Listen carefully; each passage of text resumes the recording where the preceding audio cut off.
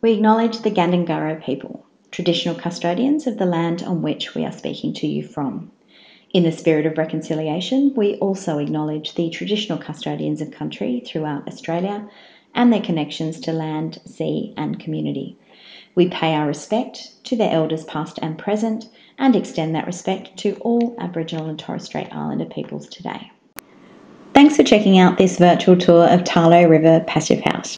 I'm Kel, one of the house's owners, and I've lived here for just on 12 months with my husband Duncan, who you'll meet a little bit later. The house sits on a 100 acre bush block located in the southern tablelands of New South Wales.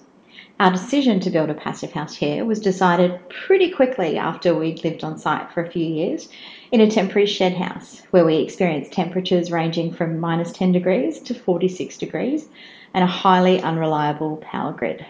However, living on site also confirmed that we wanted to build something pretty special here architecturally to make the most of our building pad's incredible views while minimising our impact on the surrounding environment. Fortunately, Sue Connor from Gaia Architects and Darren Parkinson from Eclipse Passive House and their combined team of certified passive house designers and tradespeople were very much up to our challenge. Their response to our brief was perfect for the site and our requirements, but pretty unconventional for a passive house, with a floor plan comprising three interconnected pavilions and lots of glass to take in the views. Their construction approach was also not conventional, our three bedroom, two bathroom, 180 square metre house sits on concrete piers in a steel frame, and our floors, walls, and roof were constructed using Eclipse Passive Houses panels, which were all prefabricated off site.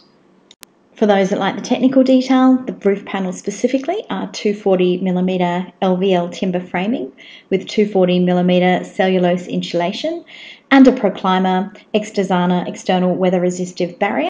The wall and roof panels are comprised of 240mm timber stud framing and 240mm of cellulose insulation with a Proclima Intello internal vapour control membrane and Proclima Extasana external weather resistant barrier. They also feature internal and external cavity battens. When you live in a rural area, it can be challenging to get tradespeople out to site.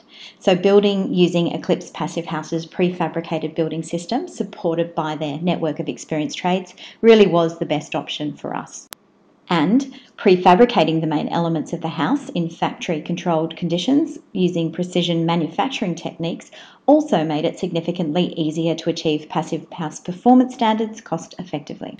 This is why the house achieved a final blower door test result of 0.57 air changes per hour at 50 Pascal. And it's why our final certification application is with the Passive House Institute for assessment currently. We think this is pretty impressive, especially when you consider the complexity of the design. If you're interested in learning more about this construction process, you can check out our 2021 Sustainable House Day tour, which includes a time lapse capturing our house being installed in just 10 days in the middle of winter. Our windows and external doors are from the Logikhaus Logic Win 88mm triple glaze range, which complies with all local standards, including BAL 29 bushfire ratings, and is Passive House certified for warm temperature climates. We also selected spruce for our internal frames as this option offers the best insulation value. As you can see, the house features many fixed windows to frame views, as well as tilt only and tilt and turn windows. We've also installed Nordic Blinds honeycomb blinds in our bedrooms, and they're brilliant product for bathrooms to provide privacy and support temperature management. The house runs with a Stiebel Eltron heat recovery ventilation unit. Given the extremes we experience with external temperatures, we've also installed a small energy efficient air conditioner, ceiling fans, and an Austroflamme wood fire for active cooling and heating. The wood fire, something we know is a controversial inclusion as there's questions around whether they're actually needed in Australian builds, is specifically designed for passive houses with internal ceiling and an external air feed. Our kitchen is fitted with a Naber Compair Bixo balanced extractant supply system, which allows external air in when the range hood is running, but has an airtight seal on both the intake and vent when the range hood is off. We also invested in a KNX home automation system to help run the house. Our system is primarily designed to maintain our house's internal comfort level with very little interaction. It achieves this by monitoring and using data collected from temperature, humidity, and CO2 sensors inside the house and external temperature and humidity sensors to automatically adjust the HRV and air conditioning to manage cooling and heating. We also use KNX programs to manage our lighting. As you'd expect for a passive house, we chose lighting options and appliances with excellent energy ratings and prioritised using materials and products with solid sustainability and healthy living credentials. For example, our inbuilt cabinetry has been designed to minimise dust collection. It's formaldehyde free, and our benchtops are composite stone made using recycled materials. Our painters use low VOC or VOC free paints, sealers, and varnishes. And our Forbo flooring is made from natural raw materials using a production process that is CO2 neutral without offsetting. It's also comfortable underfoot for those with old bones and great if you have dogs.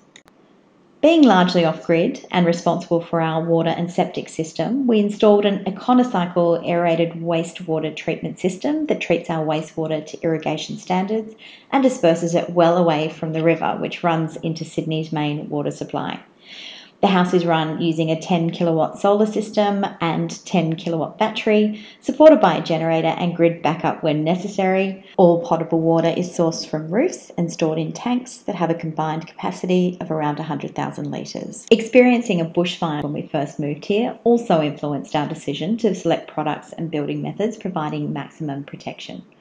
Our building approval required us to build to BAL 19 on three sides and BAL 29 on the fourth However, we decided to build to BAL 29 standards at a minimum and upspec to products specified for flame zone requirements where budget permitted. The house is clad in Colorbond, although you will notice we have a small amount of timber too, which is slower burning recycled treated hardwood. The deck surrounding the house is constructed using Modwood Flame Shield, a product made from recycled wood and plastic with a fire retardant additive rated to BAL 40. We also used fly screen to seal the areas under the deck and at the sides of the house and in the gutters to prevent highly combustible leaf and bark litter from collecting. Our landscaping features hard mulch, specifically recycled aggregate, and well irrigated bushfire resistant native plants for added protection. Hi, I'm Duncan, the other owner of Tarlo River Passive House.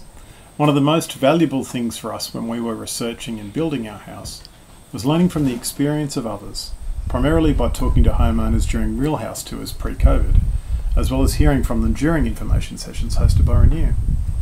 So we thought it would be beneficial to share some thoughts on what it's been like to live in our passive house over the last 12 months. We heard a great quote at a webinar a while back passive houses need active owners, and we can confirm this is the case. The critical learning for us is that you need to proactively help the house manage its indoor temperature when the external temperatures are at the extremes, particularly in summer. The autumn and spring experience in the house, along with 90% of summer and winter days, has been exactly what we hoped. Passively comfortable temperature with excellent indoor air quality. The only thing we need to keep an eye on in these times is the lower midday sun through the big northern windows on hotter days. We did make the mistake of not having enough air conditioning throughout the house. Particularly with our house's pavilion design, the temperature does not really equalise across the pavilions despite the HRV. So the bedrooms and study get warmer than comfortable in the long hot spells, which we expect to increase as the world warms. While there seems to be some resistance to putting aircon through passive houses, the reality is they don't need to be used much. They are a great tool you can rely on to manage inside temps when the house needs some help. In our case, the little aircon in it uses about 1 kilowatt down to 200 watts to keep the main pavilion very comfortable on hot summer afternoons, running off available solar. The only thing we need to keep an eye on in these times is the lower midday sun through the big northern windows on hotter days. We do still need to install some external shading to help shield specific windows from the sun, which will help next summer. But in the meantime, we've been actively opening doors and windows in the morning during summer to bring in the cooler air. As for winter, despite the concerns that wood fires are redundant when building passive houses in Australia, in our house it's proven to be a great decision. In 2022, we had rain or overcast and very cold days for weeks on end, with little sun and maximum temps well under 10 degrees in the middle of the day. Lighting a fire every few nights throughout this period helped keep the inside temperature stable without drawing on the stored solar, which was already under pressure during winter to run the aircon. We know this solution isn't for everyone, but being surrounded by 90 acres of bush that needs to be maintained for bushfire, Also means this is an excellent tool to have in our active heating toolbox. We also thought it would be interesting to share how the house performs energy consumption wise, as we capture a lot of data on this. The good news is that our overall energy consumption has reduced by around 75% compared to the house we previously lived in at the same site. And we expect to improve on this as we collect more data across the seasons and tweak things. However, the other learning to add here is that it's just as important to balance comfort and house enjoyment when you're thinking about energy savings. For example, the appliance that uses the most energy here is our heat pump hot water system. We've already selected a highly energy efficient model, so the only way we can reduce its energy consumption is by enjoying our new bath less. And that's not on the cards. So that concludes the virtual tour of Tarlo River Passive House. We hope to be able to open the house up for real life sustainable house day tours someday soon. If you're interested to learn more about Tarlo River Passive House, we're happy to chat. You can email us at tarlo.river.passive.house at gmail.com. We hope you'll agree that Gaia Architects and Eclipse Passive House have helped us achieve a beautiful, high performing passive house. We encourage you to get in touch with them if you're considering this type of build via the details shown on screen.